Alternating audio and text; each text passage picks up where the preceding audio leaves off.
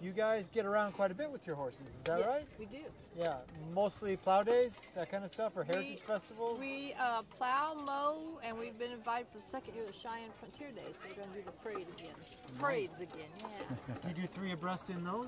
Just No. a The team. team, uh huh. Yeah. Uh-huh. What do you pull? It was uh, Did we pull that? Something they furnish. Yeah. they, mhm, Yeah, they have all Everything. museum it, wagons. all Yeah. an, antique Uh-huh. vehicles out of the museum. We had a little traveling four-wheel wagon, I think. Yeah. But in the Grand Entry, we pulled the Yellowstone touring car. Oh, It nice. was really cool. Yeah, yeah.